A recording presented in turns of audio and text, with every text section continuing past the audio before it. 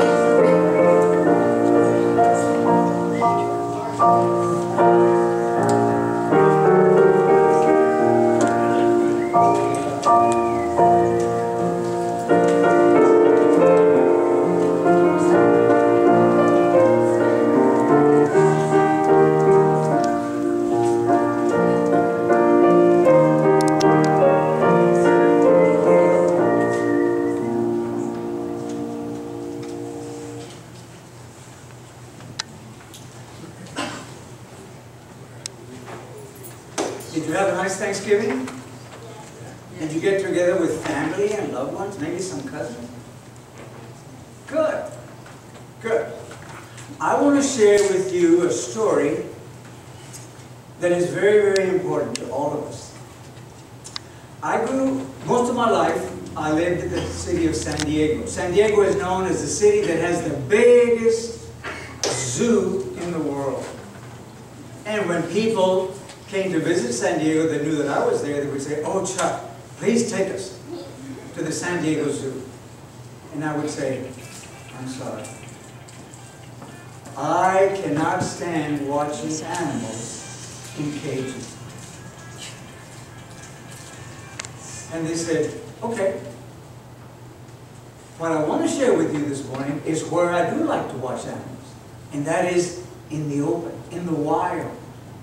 And that is why my favorite TV program is National Geographic and the Discovery Channel. Because I get to see the most ferocious animals in all the world, but where they naturally live. Some of these animals are called an endangered species. A species is the elephants. Elephants are a species. Lions are a species. Monkeys are a species. Some of these animals have been hunted down by people and to such a point that they are now an endangered species. There's just so few of them. And in Africa and in India, they have large designated areas, large thousands and thousands of acres where these animals can live and not be shot by hunters. Sometimes, though, these animals get a disease, a deadly disease. And the way that we know that they get these, disease, these diseases is because the people that are in charge of these reservations fly in helicopters to see how the animals, the different herds are doing. And when they see an animal that is injured or that is not acting right, they're sick, they come real, real close to the animal and they shoot them with a dart. It's called a tranquilizer. It's a serum. A serum that injects the animal and it paralyzes the animal to the point that the animal cannot move. And so it lays down.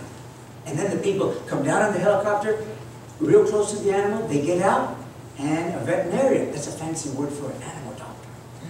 They get out of the helicopter with the assistants and they check the animal out. They check their saliva, they check their eyes, they check their teeth, they take blood samples. And when they find out what's wrong with it, they treat the animal. But after they've treated the animal, they want to get back in that helicopter. You know why? Because the serum that made that animal paralyzed begins to wear off. And if they have shot an elephant, or a rhinoceros, or a Bengal tiger or a lion, as that ferocious animal starts to get the movement back in their muscles, but They're gonna kill you, they're gonna eat you alive. So these people get in that helicopter and they move up about a hundred feet in the air and they watch the animal to see how the animal is reacting to their treatment. And when they see that the animal is okay, then they come out. The reason I've shared this story with you is because every time I see that happen, it reminds me of something that happened on this world 2,000 years ago. Jesus came to this world 2,000 years ago to heal a bunch of sick people that were dying of a disease that the Bible calls sin. There's a verse in the Bible, Galatians 3.22, that says, all things have been summed up under this disease called sin. Now, would you like to know how Jesus treated this disease and how successful he was? The first thing that Jesus did in order to treat this disease was he came down and he zapped Satan. Do you know what that means? He shot him and he paralyzed him. Do you know what's in the Bible? In Hebrews 2 14, it says that Jesus had to come into this world the same way that you and I do, born through mother. And he grew up. And he learned how to live a life on this earth. And the way he learned how to live the life on this earth was that he learned how to zap, paralyze Satan. And that's what Hebrews 2.14 says. He has made Satan powerless. The word in Greek is paralyzed. Now, what does that mean? What is the serum? What is the name of the serum that Jesus used to paralyze Satan? The Bible says the name of it is faith. Jesus learned to turn every thought, every word, and everything that he ever did over to God when he was on this earth. And that is how you and I can paralyze Satan. Because the Bible also tells us that Satan is like a roaring what? Lion seeking what? To devour you.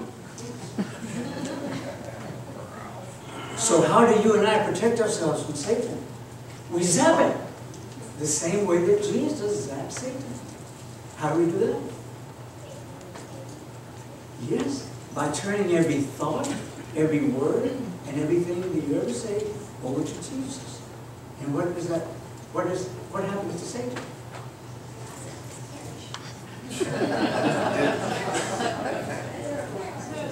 Is, is Satan dangerous when he's, in this position? And he was?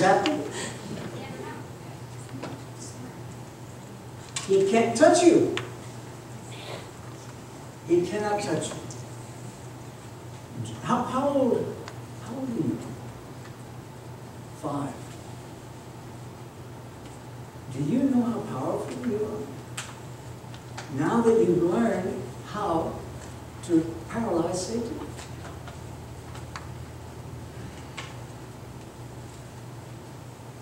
You're the most powerful person in the world.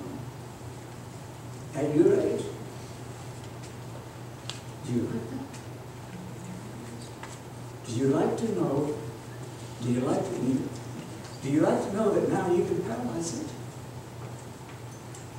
He's helpless. He cannot affect you in any way. Because the Bible says so. The last part of Galatians 3.22 says, through the faith of Jesus, Jesus has conquered the sin problem. And it's up to you and to me as we live our lives in this earth. Every time we have a thought, every time we think of saying something that was every time we think of doing something, we can do what Jesus did. Turn it over to God. And what does that do to Satan? It paralyzes him, and he can't touch it.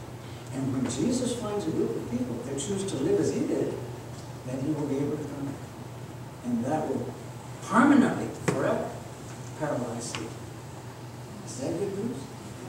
It's up to you and to me whether we're going to paralyze Satan or not. You may return to your seats quietly.